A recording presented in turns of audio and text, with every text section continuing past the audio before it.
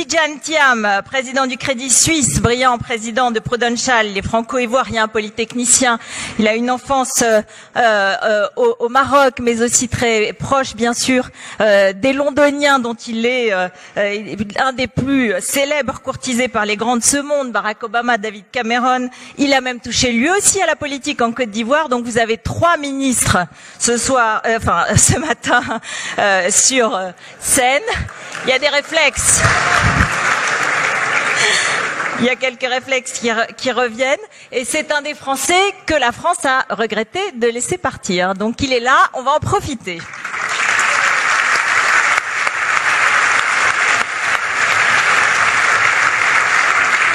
Emmanuel Macron, le ministre de l'économie, de l'industrie et du numérique, Lénarque, l'inspecteur des finances, le banquier, le philosophe, vous savez tout sur lui, il a renouvelé le paysage politique français, une des stars du gouvernement, on peut le dire, auteur d'une loi sur la croissance et l'activité qui veut bousculer les blocages français. Chacune de ces déclarations suscite l'intérêt, la curiosité et parfois l'inquiétude de certains.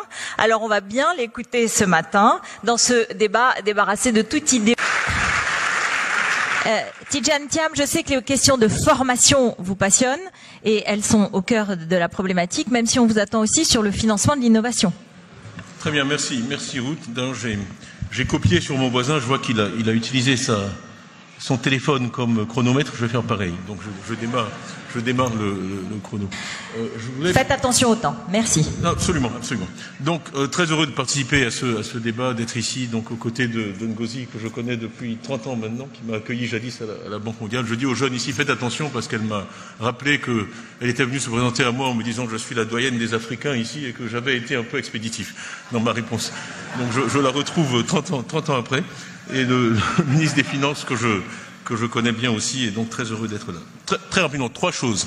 Euh, juste euh, sur la polarisation, donc euh, confirmer certaines des choses qui ont été dites. Deuxièmement, parler un peu de technologie. Et troisièmement, comme vous le suggérez, plus parler d'éducation et de, formation. La, la polarisation, elle est, elle est, vraiment brutale. Euh, au sein des sociétés occidentales, c'est clair. Il y a différentes statistiques, mais 14 millions d'emplois détruits, d'emplois qualifiés classe moyenne détruits en 2000 et 2013 mais aussi une autre polarisation qui est entre les pays émergents ou dits émergents et les pays développés, puisque la, dynamique sociale qui est en cours est complètement différente. Euh, 587, je ne sais pas comment ils arrivent à cette précision, disons 590, près de 600 millions d'emplois créés au XXIe siècle dans les marchés émergents face à la destruction d'emplois dont je, dont je parle. Et les inégalités de revenus, évidemment, euh, dans l'OECD, je crois qu'il y a le coefficient de Gini a augmenté dans 16 pays sur 21, et si on fait le ratio des revenus des top 10% au, à ceux 10% du, du, du, bas, il est passé de 7 à 1 à 9,5 à 1, presque 10 à 1. Donc clairement, je pense un accroissement des inégalités que personne ne contexte avec les, conséquences politiques et sociales qu'on sait. Je crois que Jean Pisani-Ferry a bien posé le problème. Et avec en plus en arrière-plan la démographie, juste pour renforcer ce que Jean disait, âge moyen en Europe, je crois, c'est 44 ans, en Indonésie 28, en Afrique 18. Donc c'est pas étonnant que l'essentiel de l'accroissement démographique se fasse euh, en, en Afrique. La technologie, effectivement, facteur clé derrière tout ça. Euh, moi, d'ailleurs, je me lève un peu contre une analyse qu'on entend souvent, qui veut dire oui, mais regardez, Uber n'a créé que N emplois ou Facebook n'a créé que euh, X emplois directs. Quand on regarde Facebook, il y a une très bonne étude faite par, Deloitte qui montre qu'en fait, leur contribution à l'économie mondiale en GDP est de 227 milliards de dollars et 4 millions et demi d'emplois créés à travers la création d'emplois indirects, toutes les entreprises qui vont sur Facebook, qui peuvent arriver directement à leurs clients. Donc la bonne analyse, c'est pas de dire euh, Facebook détruit plein d'emplois et n'a créé que X emplois, c'est de voir la valeur ajoutée euh, qu'ils apportent à, à, l'économie qui est énorme. Énorme en termes de productivité, de temps gagné, de mise en contact de gens, de vente de, machines sur lesquelles les gens vont sur Facebook, etc., etc. Donc moi, je suis clairement plutôt du côté de, de, de ceux qui voient la technologie positivement. Donc j'ai fait la moitié de mon temps. Donc la deuxième moitié, je parlerai surtout des, solutions. On dit toujours éducation. Donc moi j'ai essayé d'aller peut-être un ou deux niveaux en dessous. Et je vois, il y, a, quatre dimensions à ça. Une qui va peut-être vous surprendre, c'est la question des femmes. Euh, deuxièmement, c'est la question de la formation. Troisièmement, euh, la question du fonctionnement du marché du travail. Et quatrièmement, la question de la redistribution. Je pense que sur les femmes, on oublie quand même trop souvent quand on parle du, du bottom 40% ou 10% dans la population en Occident, que les femmes sont surreprésentées dans ce segment. que le temps partiel frappe d'abord les femmes, que les familles monoparentales qui ont des revenus euh, familiaux plus, faibles, c'est d'abord les femmes, et que donc il y a vraiment, euh, pour les gouvernements, je me tourne vers le, ministre des Finances ici, euh, une nécessité d'agir de façon très spécifique, très ciblée sur cette question des femmes. Pas seulement parce que c'est politiquement correct, mais parce que ça marche économiquement et socialement à travers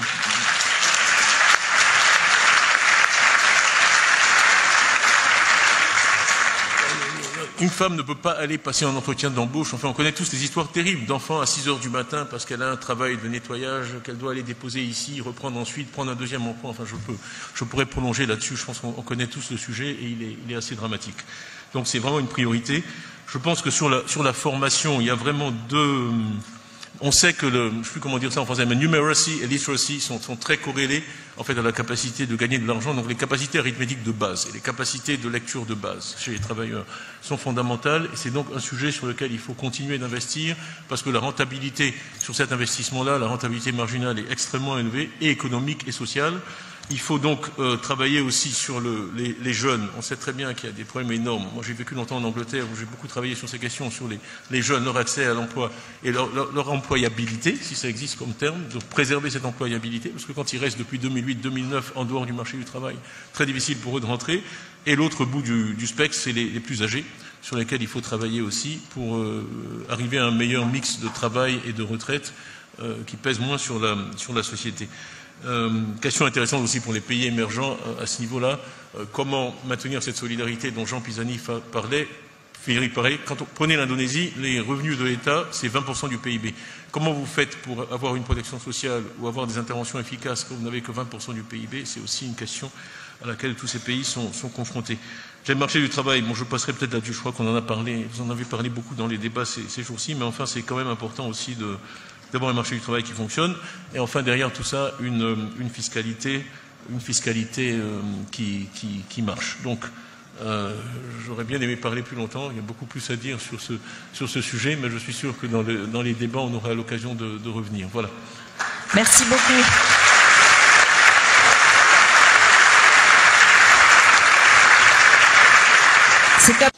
Donc on nous répète année après année que la croissance bienheureuse reviendra comme unique condition de la vitalité économique et sociale.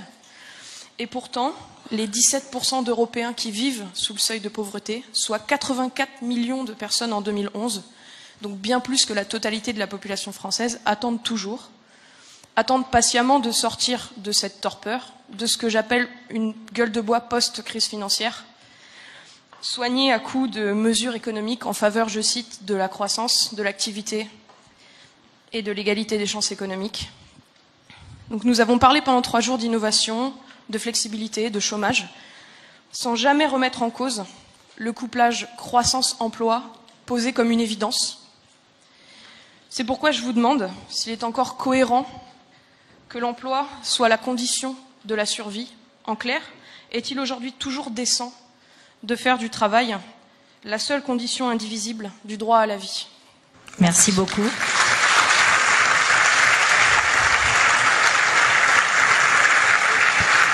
Voilà qui nous. Euh, voilà qui élargit euh, extrêmement bien la perspective et je vais demander euh, peut-être à Tijam de commencer, peut-être à, Madame Konjo voilà, de, de, répondre. Emmanuel Macron, qui veut démarrer? Allez-y.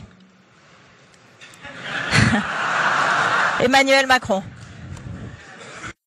Je suis celui qui est déjà le plus parlé, donc moi je serai très court. je pense que si je comprends bien votre question, il y a, deux éléments. D'abord, en effet, qu'il n'y ait pas d'élément de solidarité quand on n'a pas de travail est aujourd'hui inacceptable. Et euh, beaucoup de sociétés en ont, mais encore insuffisamment. Et donc la question, c'est celle, comme on dit en anglais, des safety nets.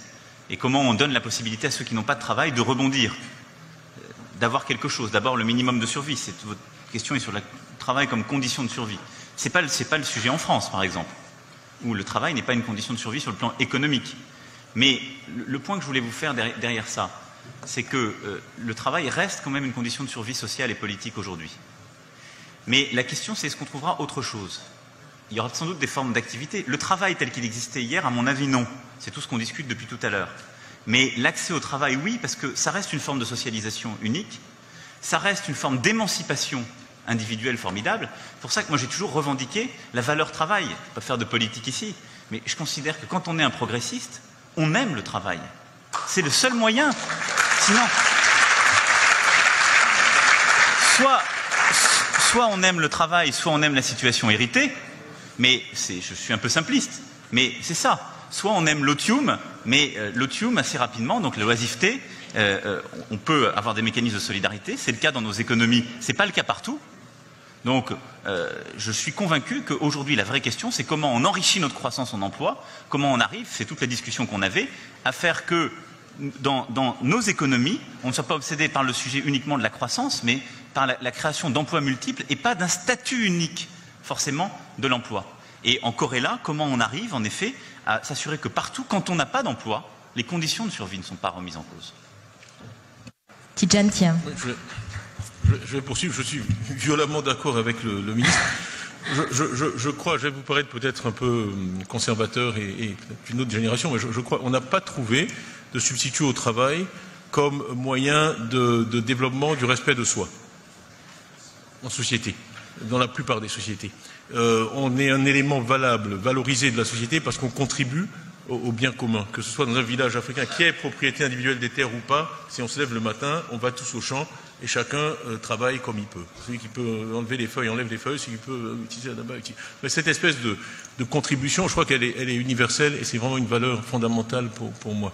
Après, on tombe sur des questions de modalité. Je crois que c'est ce que disait bien le, le ministre. C'est quelle nature de travail, quelle forme prend ce travail, on voit bien qu'il est, l'exemple des 50 000 Uber, chauffeurs d'Uber est, parlant. On voit bien qu'il est de plus en plus morcelé. On voit bien qu'il est de plus en plus éclaté. Et honnêtement, je, ne crois pas qu'on puisse arrêter cette évolution. Je pense que la vraie question, c'est comment on l'accompagne. Parce que je vois, même dans les. Je crois que Ngozi a donné de bons exemples sur le Nigeria. Cette technologie qui, qui morcellise, qui fragmente le travail, elle est à l'œuvre aussi bien dans les marchés euh, développés que dans les pays émergents. Moi, je pourrais multiplier les exemples. J'ai beaucoup travaillé en Asie. On avait des agents qui travaillaient euh, avec de la technologie hyper moderne, iPad, etc., qui n'avaient pas de bureau, complètement euh, dématérialisé et qui, qui, fonctionnaient de façon très efficace. Donc, même dans les économies émergentes, on a cette présence de la, de la technologie. Moi, j'en reviens un peu à mon, mon, sujet préféré, qui est vraiment l'éducation. Je pense que la, la, question qui est posée, elle est posée au système d'éducation. C'est comment euh, on peut préparer des hommes et des femmes à être efficaces et à faire une contribution valable dans ce système complètement euh, éclaté. Je crois que le, système d'éducation n'a pas évolué au même rythme que la technologie et que le, monde du travail, et que vraiment il y a, une adaptation douloureuse là, et qu'on vit un peu une espèce d'hystérésis où le système éducatif continue à produire euh, des gens qui ne sont simplement pas euh, adaptés pour ce, nouveau monde qui est, très, très, morcelé et très fragmenté. Donc, euh, question intéressante. Je crois que l'accueil de la salle a, bien montré que vous avez eu raison d'avoir le, courage de la poser. Réponse un peu, un peu traditionnelle, je suis désolé.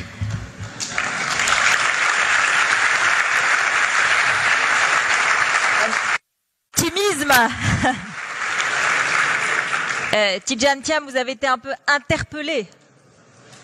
En fait, c'est une interpellation, je dirais, agréable, parce que je suis c'est la principale raison pour laquelle moi je suis dans la, finance. Hein, je dis toujours, partout où j'ai été, je dis we have to do well by doing good.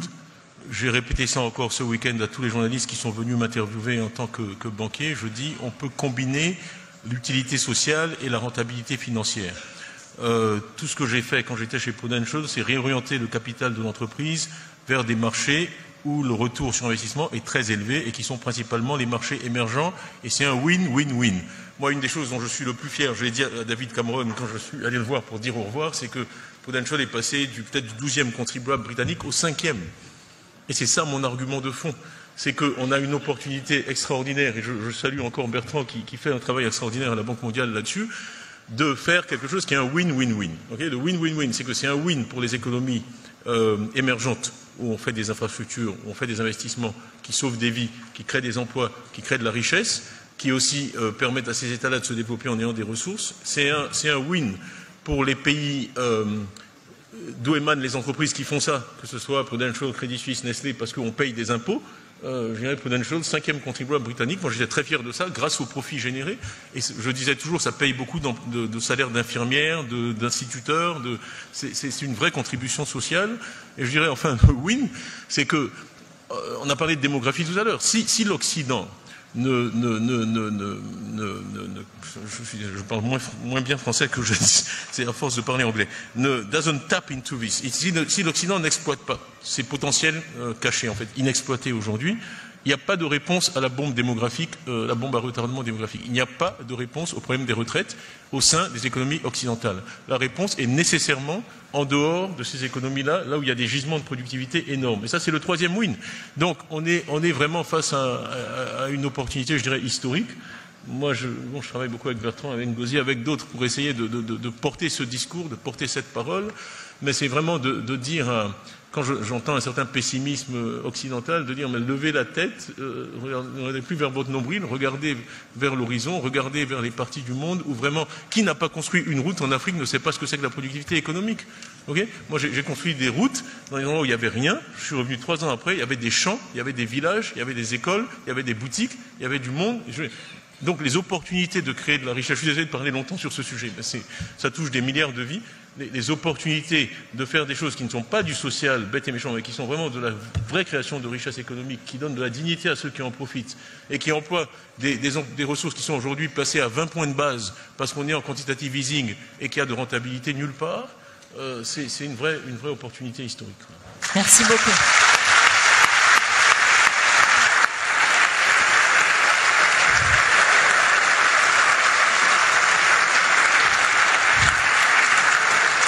Euh, et, et l'itinéraire de Tijantiam comme un, un exemple qu'en France on n'a pas bien reconnu. Très, très vite, je, vous remercie. Je suis vraiment content de pouvoir au moins clarifier une chose. Je l'ai dit à la télévision suisse ce week-end. Euh, on a beaucoup parlé du fait que je suis allé chez McKinsey en sortant d'école, mais les gens qui m'ont embauché chez McKinsey étaient des Français. Ça, je tiens vraiment beaucoup à le dire. Euh, il y en a un dans la salle parce qu'il y a une confusion totale. C'était pas des Américains, c'était bien des Français, bien français, nés en France, formés en France. Donc, donc mon propos n'a jamais été un propos contre la France ou contre les, contre les Français.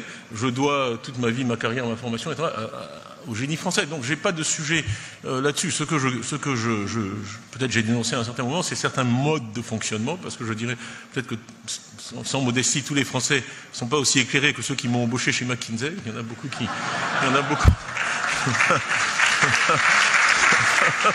Il y, en a, beaucoup qui m'ont même pas interviewé, donc euh, voilà. Après, sur la, sur la diversité, euh, honnêtement, je pense que c'est enfoncer une porte ouverte. Franchement, Aujourd'hui, les, les, sociétés qui gagnent, les équipes qui gagnent, les entreprises qui gagnent sont celles qui sont ouvertes et la diversité, Dieu merci, ça va bien au-delà de la couleur de la peau, c'est de diversité de manière de penser, diversité de style, diversité de, de tous les genres. Je pense que c'est, moi je crois qu'on est en train de gagner là-dessus. Je pense qu'on n'a plus besoin de prêcher, je pense que la, la, la réponse est évidente et que le, le monde évolue dans la bonne direction.